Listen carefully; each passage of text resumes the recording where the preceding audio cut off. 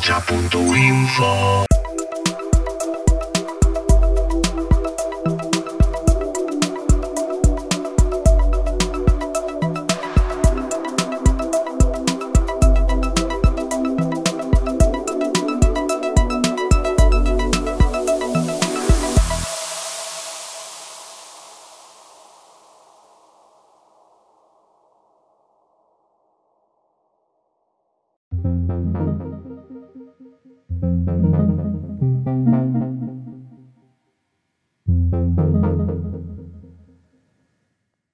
Saiakela literarioa da, e, asko urruntzen da orain arte egin dudan literaturatik, ez du zer ikusirik kasu honetan e, e, bestetan autofikzioa egon ziteken bezala edo nire pertsona nolabait mozorrotu egon ziteken hontan ez dago halakorik e, e, errealitatean oinarrituta eta errealitateari buruzko e, e, kontakizun bat edo idazlan bat da. E, badauka autobiografiatik, badauka e, erreportaiatik, badauka ikerketatik, badauka historiatik, e, badauka dokumentazio eta bilketa lan askotatik. Mm, askoz ere esango dugu periodistikoagoa dela naiz eta saiakera literario baden forma aldetikan nahiko e, berezia delako.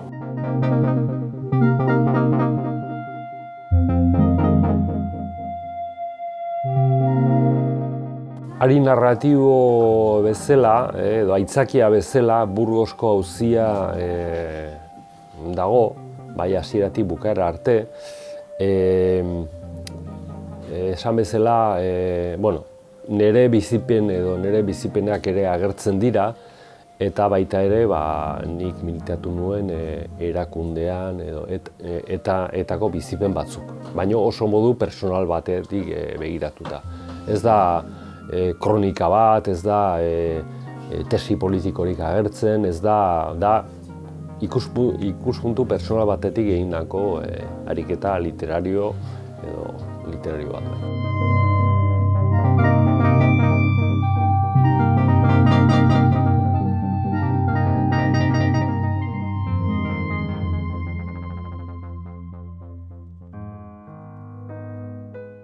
Atal bakoitzari izenburua emateko orduan, e, erabili du batez ere aitzaki bezala e, e, burgosko hauziarkin zer ikusia zeukan jendea. Badaude bi atal e, hortatik ateratzen direnak. Eh?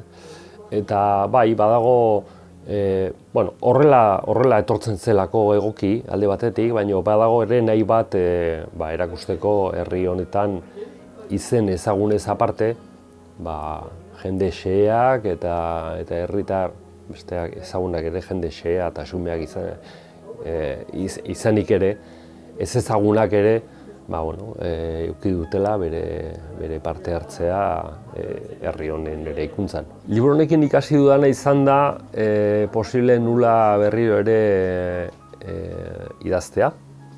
Zuen ere, bueno, nire azken e, e, idazlan potoloa jadanik e, sortzi urteko e, denbora badu idaztea. Idazten jarraitu dut beti, baina ikasi dudana da posible da lan arnaz urtzeko lan bati aurre egitea, horri forma ematea.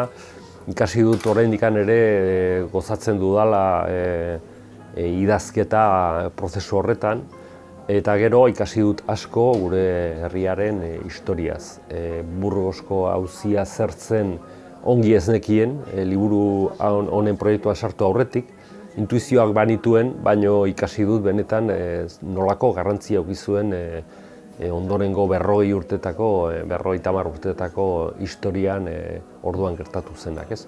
Eta ikasi dut e, nigan ze eragin izan zuen, eta bueno, ez da helburu bat, baino pentsatzen dut agian e, irakurleek, adin batekoek, bederen, eta ikusiko dutela ere bai edo agian piztuko zaiela bere oroimenean edo bere gogoetan beraiekin ze zer ikusi duen. Eta gazteagoentzat ba, izango da e, oso modu berezi batean orduan gertatu ziren hainbat eta hainbat e, gauzen berri jasotzea eta agian jakin mina pizteko modua.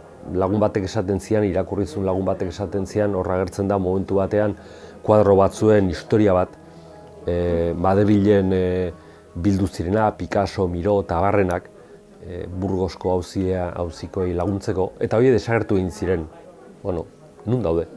Izan daiteke ba, gure gure herriaren historian e, adibide bezala e, implikatzeko edo edo ikertzeko aitzakiak.